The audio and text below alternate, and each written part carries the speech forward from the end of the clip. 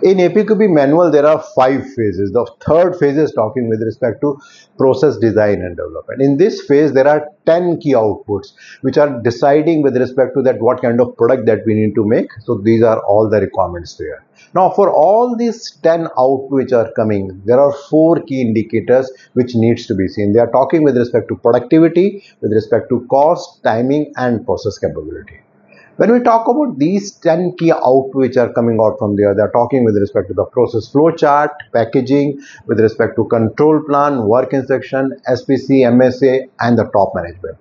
Now the main intent is that all those four points with respect to cost, timing, delivery, whether we are taking care with respect to that because if we are incorporating all those things here, there is a high possibility that in the next phase we will be able to achieve whatever we want to achieve.